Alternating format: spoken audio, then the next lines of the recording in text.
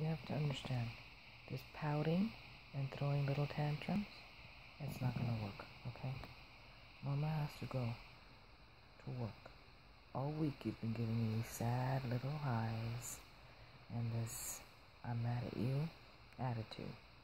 And it needs to stop. Okay? What what is that about? Huh?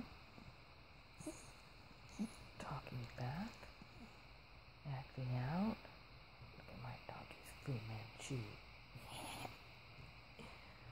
Mama has to work so she can buy you doggy bones.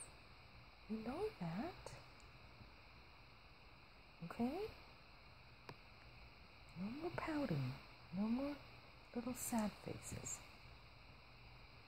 You're not convincing anybody.